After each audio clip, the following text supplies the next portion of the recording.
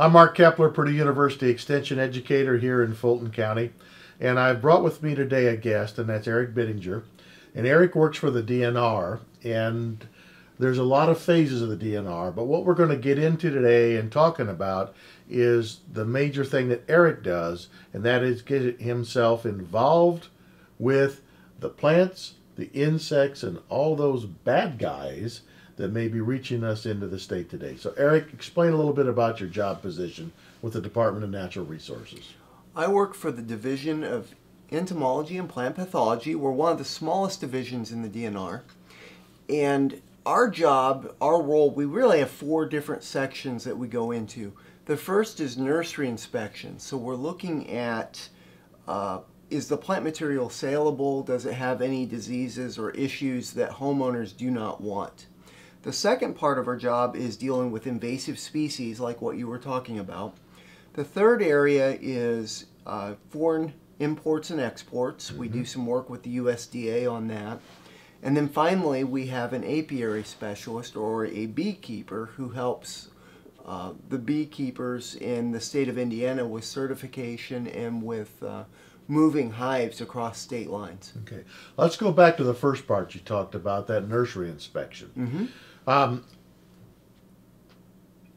we think of a nursery, we think of a place that they are growing plants. The reality is you inspect a lot of things other than the place they're growing plants, but it's the place they sell perennial plants. And I think that's the definition lots of times of what you go into with your nursery inspections.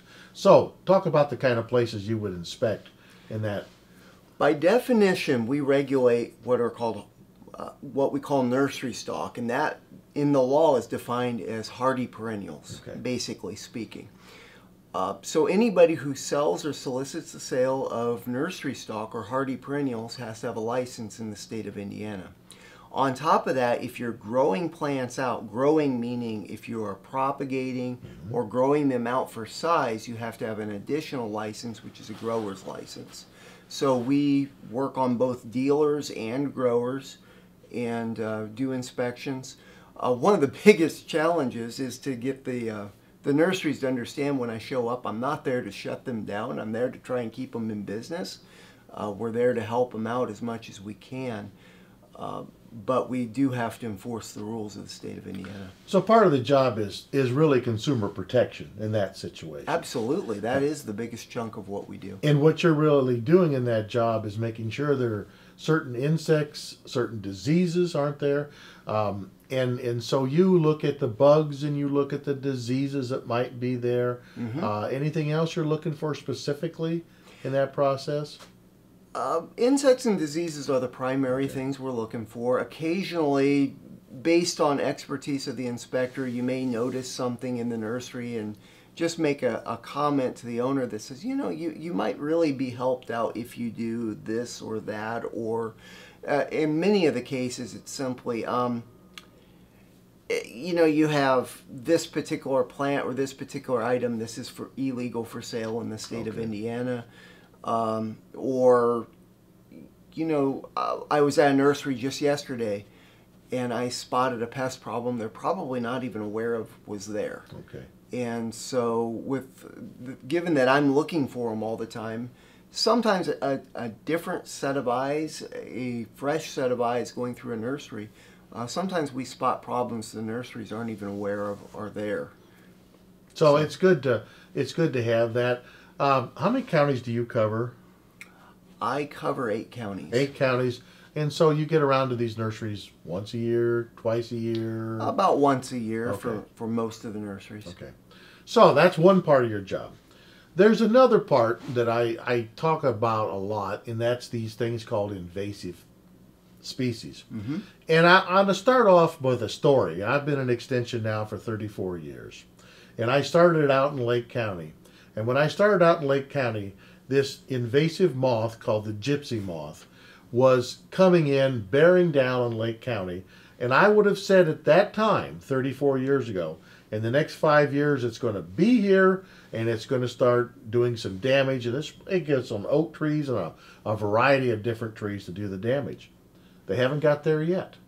and they haven't got there because of the efforts of the Department of Natural Resources in Indiana. It's in Michigan, it's in Ohio, but you guys have, uh, I think it's one of your greatest success stories. And talk about a little bit what happens and what happens with gypsy moth. Gypsy moth actually is in Lake County. Uh, there are a couple of sites that we have treated over the years, but it's not the disaster that I think a lot of people were expecting as this uh, this particular moth moved through. The Gypsy Moth program is called Slow the Spread, or STS. It's a cooperative between the U.S. Forest Service and the states that are on the front line of gypsy moth. And gypsy moth is like um, like an old friend to me. I've, I've worked with it as long as I've been with the DNR. In fact, gypsy moth is part of the reason I work for the DNR. Mm-hmm.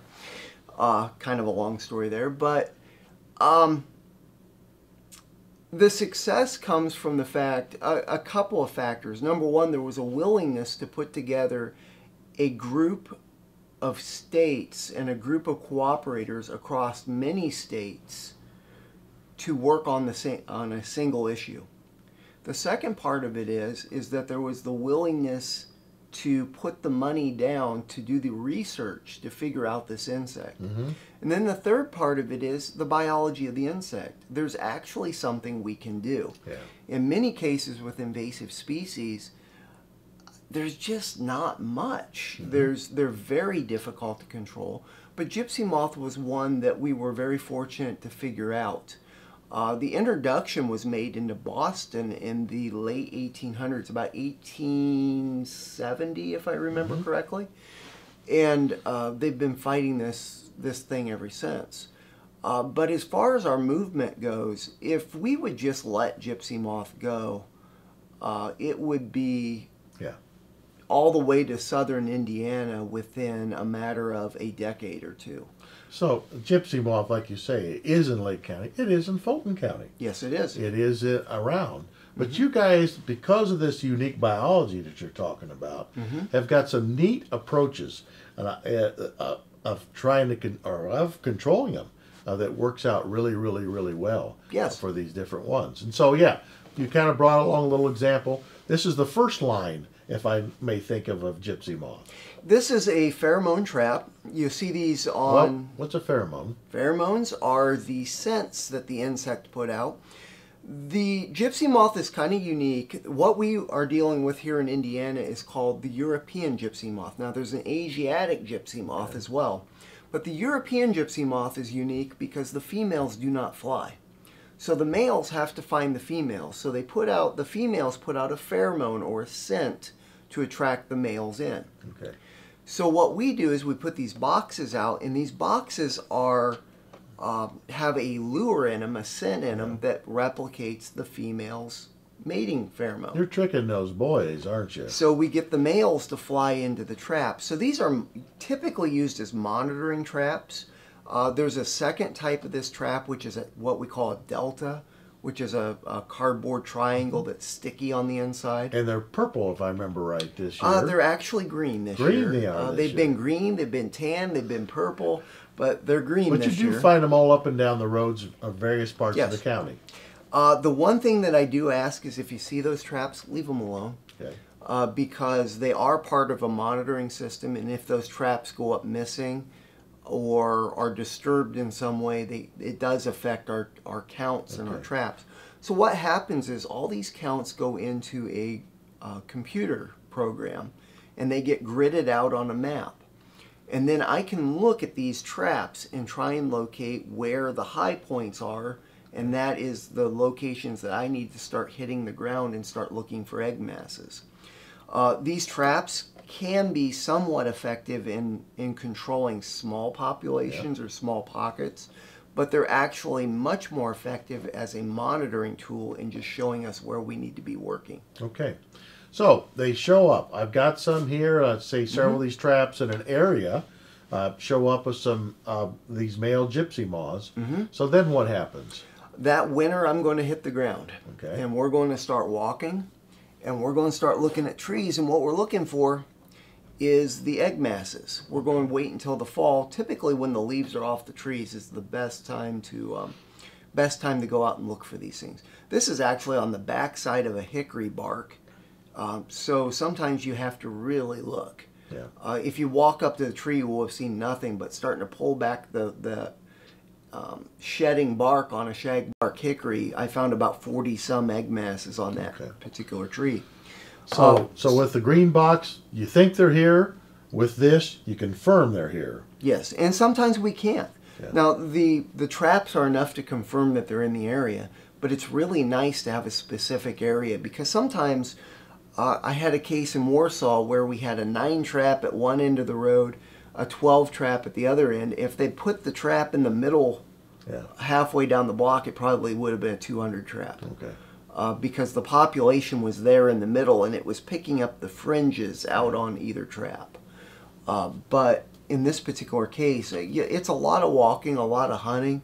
And gypsy moth, they love to be upside down when they lay their egg masses. They love to be up under things in shelters. So it really means hunting and looking. One of the biggest ways that a gypsy moth population has spread is on camper trailers because they get underneath the wheel wells and lay egg masses underneath those wheel Mm-hmm. Yep. wells on there. So you went to a state park or some park somewhere in Michigan that has gypsy moths, and they can end up laying those eggs right underneath there, and, and they will travel. They do picnic tables, tricycles, trash cans, uh, outdoor furniture, uh, housing siding, um, cars, trailers, boats. I've seen them on just about anything Yeah. Uh, that happens to be a, either stored underneath a tree or around trees that, particularly white oaks, where the gypsy moth seem to do the best. And they prefer to eat oak trees for the most part. They've got a wide variety of things they eat. About 300 species that they will feed So, on. so it's really kind of interesting. This is a kind of a general feeder in that respect. It is. Whereas we've got other things we'll talk about later on that are very specific that we'll get into. So you found them. You know the egg masses are there. What's the next step that next year then? Uh, we might do, depending on the uh, on the find, we might do several different things. Um, there's certain locations where we'll do nothing, and these are typically in our northern counties, St. Joe, Elkhart counties, uh, maybe into northern Marshall County. And the reason for doing nothing is that we're behind what we call the five moth line or the ten moth line. And those lines are kind of an artificial line that we draw. They're right about US 30 right now. Okay. And based on that decision, we know that there are predators up in that area. We know that the area is considered what we call generally infested, so we may not waste our resources back there. If you think of it like a fire line, there's no use treating the back side of the fire. Yeah. And that's what that particular location would be.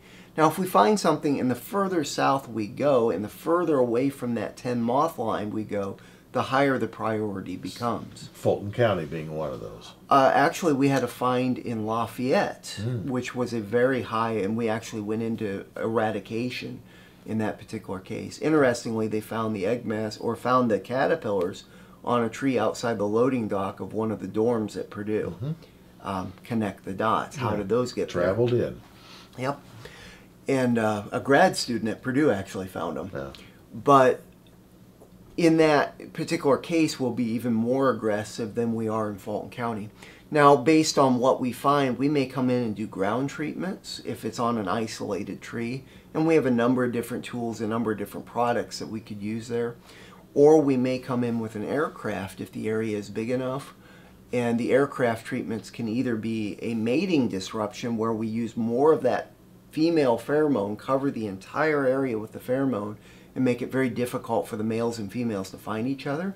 Or the other treatment that we may use is called BTK or Bacillus thuringiensis kurstaki, which is a great product. Um, it's an organic product that has been used on caterpillars in vegetable industries for A naturally occurring bacteria. it is. It's Yeah, a soil-borne bacteria. It's not a chemical insecticide. It's a naturally occurring bacteria. Yes. But the other part is the part that gets really interesting to me is when you talk about uh, the d- mating disruption part. Yes. And last I knew, you used to f- drop flakes is uh, of of the insecticide. Is that still true? Gypsy moth is on the cutting edge of being environmentally friendly, and Okay. that's when you look at the products. If you go back a hundred years, they were treating with this really powerful product called arsenic. Yeah, lead arsenic too. Exactly, yeah. and uh, you know, so there's a lot of hazard in that. And the, one of the concerns with the plastic chips was you're yeah. putting plastic out in the environment. Yeah. Well, now we've actually evolved into a product called Splat. It's a lovely name. It's a wax oh. carrier oh. that. Um, that they can put whatever pheromone that they want. In this case, we use what's called Splat GM, Splat Gypsy Moth. So the female sets right there. The male can only travel. You drop these flakes, if I might use, splat down into that mm-hmm. case.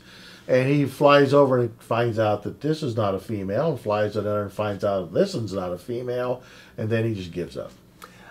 We also take advantage of the fact the males hatch out from their pupal cases yeah. about two days before the females. Okay. So they hatch out and immediately start finding, looking for a female instead of resting and uh, yeah, they basically wear themselves out looking for a female that isn't there. And that's the end of that. So that's that's the gypsy moth, and I, mm-hmm. I think mm-hmm. it's a really good example of how the DNR ha- has succeeded. Now I'll use another example, and that is the emerald ash borer. Mm-hmm. And in the case of the emerald ash borer, you tried. Uh, at least they did up in Michigan where it first came in at. They tried, but because of the biology of that insect, it just wasn't easy to do, and also I think people had a lot to do with that also. You're correct. Uh, emerald ash borer was particularly difficult. Now, unlike gypsy moth, where I can go up and I can find an egg mass, emerald ash borer spends most of its life cycle under the bark of the tree. And the problem there is you can often come up to a tree, an ash tree in particular, uh, which is uh, ash is 99.9% of this insect's diet. Mm-hmm. The one other tree is white fringe tree, which is a very rare feed. It's actually a very rare find up in this in northern Indiana. So unlike the gypsy moth that takes on 300 different trees, this guy likes ash and that is pretty much it. Yes, green ash, white ash, blue ash, pumpkin ash, all the ashes. Um, mountain ash, which is important to note, is not an ash. Not an ash. So mountain ash is actually fine. Yeah, mountain ash is actually a closer relative to the crab apple. But anyway, the um, the difficulty with emerald ash borer is you typically can't find the insect until it's already killing the tree. Mm-hmm. Uh, so what we found with this particular insect is every time we found it, we keep moving out further, and it was typically as much as one to two years out ahead of us. Um, so the insect had spread out further than we were looking at any given time. And that was true by the time they had um, uh, identified it in Michigan, it already had about a 10 year head start. Mm-hmm. And it was just a very difficult insect to deal with. And people also came into this. And it, exactly, uh, many of the finds that we had in Indiana, especially some of the first finds, were in campgrounds and lumber yards. And these are places where firewood or logs are moved. Uh, sometimes they're left to sit for a while. Um, many times I would find uh, a campground with dead ash trees, and it, you wouldn't have to go very far to find campers with Michigan license plates. So somebody lost a tree up in Michigan, and rather than ask what killed this tree, they chop it up for firewood, uh, load it up in a pickup truck, and take it down to their campsite in Indiana and bring enough for the whole year. So that that's that's the case of the emerald ash borer. It, it essentially came in, took over, killed all our ash trees, and is continuing across the nation and going out west. And I think I heard it was in Sioux Falls, South Dakota, uh, not too long ago, and I'm sure it's continuing out through those areas. And people are carrying it around. Mm-hmm. By itself, naturally, it couldn't move that fast. But because people are carrying it around, it's getting that chance to move on and, and do the damage. When emerald ash borer was first found in Indiana, I was at the, um, shortly thereafter, I was at the Green Expo in Indianapolis, and Cliff Sadof was speaking. And somebody said, How long before this find in Angola gets to southern Indiana? And Cliff Sadof's answer was eight hours in the back of a pickup truck. and he was exactly correct. Cliff is the Purdue University entomologist yes, that handles is. those types of things. So that's that's a good example of one that you just couldn't do. There's another one out there uh, that I has been in the news for some time. It's called the Asian longhorn beetle. Yes. And this one is is a case of your counterparts and the U.S. Department of Agriculture really get in on those also. I don't know if there's been one of these sighted in Indiana yet, no. but there was over in Ohio in that Cincinnati area, yes. and they have been very uh, vigilant about trying to clean up these uh, these Asian longhorn beetles. Our approach to Asian longhorn beetle, I should say the USDA's approach, is very similar to what they tried with uh, emerald ash borer. The first response with emerald ash borer is find a tree and cut down all the trees around it. Mm-hmm.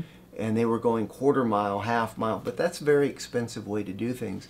And with emerald ash borer, the problem is the half mile, quarter mile, mile wasn't far enough because by the time it, it was just so readily moved through firewood and other ways that it had expanded out past where we could find it. Asian longhorn beetle has a couple of different properties to it. Number one is uh, it's a big beetle. It is huge. Um, the other difference between this one and emerald ash borer is emerald ash borer feeds in the cambial layer. Mm-hmm. So EAB will actually kill the tree by girdling the tree from the inside. If you see the bark off that tree, you just see tunnels underneath exactly. that bark all through there. Asian longhorn field or Asian longhorn beetle does feed in the cambium for a little bit, but it primarily feeds in the heartwood. So you will see a dead, well, not a dead, you'll see a maple tree with green leaves and just riddled with holes. Mm-hmm. So where you're going to find Asian longhorn beetle is typically after storm damage. Yeah. So these trees are going to break up, they're going to fall down, and that is where you start to see that, that damage the beetle doesn't um, move quite as fast, quite yeah. as far on its own as emerald ash borer does. And its host range is, while it's wider than Asian longhorn beetle, it's not as wide as gypsy moth. Yeah. So it's primarily everything in the maple family, including box elder. It'll also feed on willows, horse chestnut, uh, it, it's wide enough. There's about seven species it feeds on. Um, but what we find with this is we can actually scout for it. And what the USDA will do is bring in tree climbers. And they will climb up into the trees and start looking around for the exit holes, which are about the size of a number two pencil. Okay. Uh, they're and they're perfectly round. They're not particularly uh, once you get attuned to them, they're pretty easy to see. It's just kind of a flag they throw up. Here I am. Yeah, and the other thing they will do is leave really fine, or really, excuse me, really coarse sawdust at the base of the tree where they push the dust out of their holes. So sometimes that in itself is a dead giveaway that that particular beetle is there. Uh, this insect was successfully eradicated in Chicago a number of years back. Okay. They've been working on it in the Cincinnati area the the find in Cincinnati is unique because it's the first time in a rural area that this insect has been detected. Uh, so the quarantine actually at one point grew to about 63 square miles, mm. uh, but since that point in time, they've been working on it for years, and it has shrunk back quite a bit. And I've heard about it for quite some time now. Yeah. So the next one, and the one that we're seeing in the media right now, is something called sudden oak death syndrome. Mm-hmm. Let's talk about that in a little bit. What what that sounds pretty bad. Sudden oak death syndrome is also called Phytophthora ramorum, and it goes by a couple other names: ramorum blight.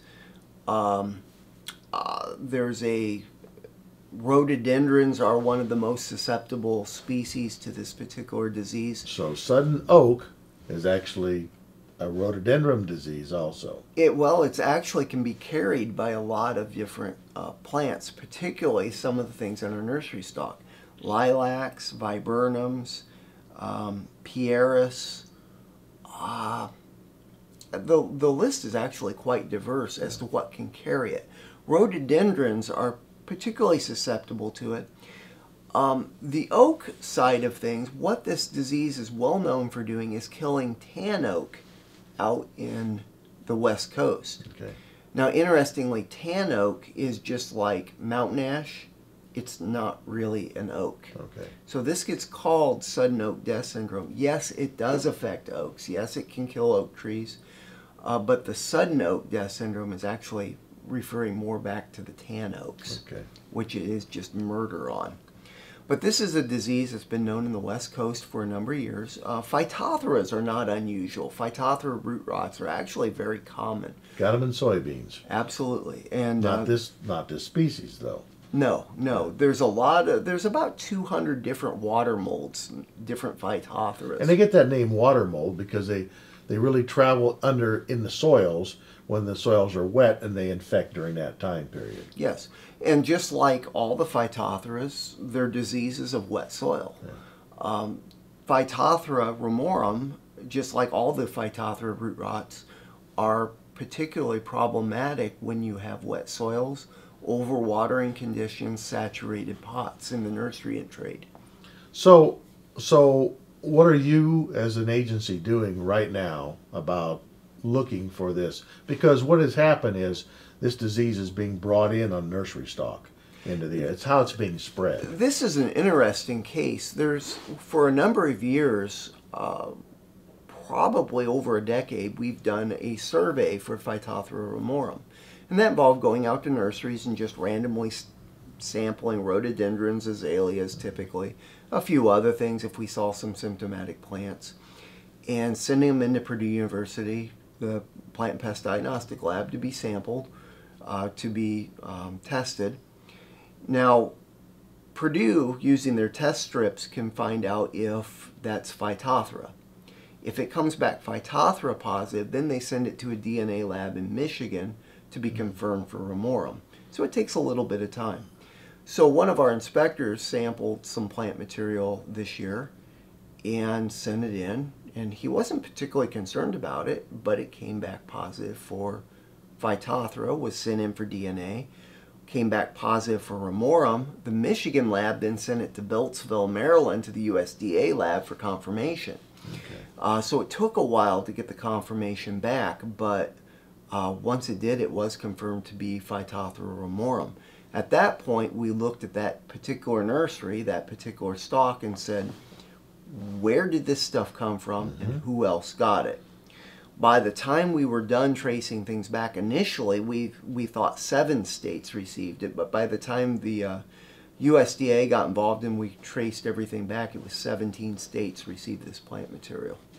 And so by and then really the issue is by getting these plant materials, you're spreading that disease to a location. I plant this plant under the right environmental conditions. It could get over to my oak trees, and it could uh, potentially kill my oak trees down the road. Certain oak trees, not Yes. every oak tree. Yes, Um, I think it's red oak, if I, if I remember right. It's worse in than white oaks. If, I think you're correct. yeah, in that situation.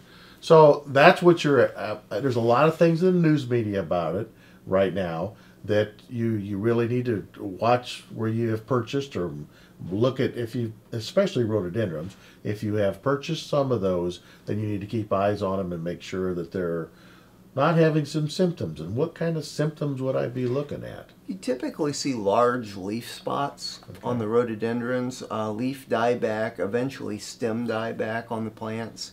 Uh, basically, they just don't look good. Yeah. Uh, they just look like they're dying back when the rhododendrons get it. The leaf spots can also be present on other things like the lilacs, like the viburnums. Um, they tend, those plants and most of the other hosts tend to be more carriers than actually succumbing to the disease. With this, all this plant material coming in, and, and the nursery industry is has really become a global industry. Uh, when you go into most nurseries, very small degree of stock was actually grown in Indiana. Okay. A lot of it comes from Tennessee, Oklahoma, Washington State, Oregon, California, New Mexico. It's hard to find a Michigan. true nursery in Indiana.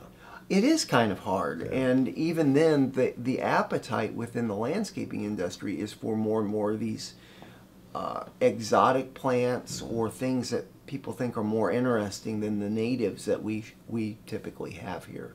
So we get in a lot of stuff that is of uh, European and especially Asiatic origin Okay. uh, that comes in for nursery stock. So plants are being propagated and moved all over the world. So the main thing, and I, I want to get across today as we talk about this uh, um, sudden oak death syndrome. Mm-hmm. It is whether you've moved something in, like some nursery stock, into your area, and if it's showing up those kind of symptoms that you were talking about, the leaf spots, the those type of things. That's what a homeowner should be looking for.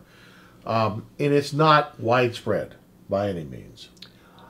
This disease was just introduced into the state. Yeah. So to see an oak tree dying right now yeah. would be very, very unlikely.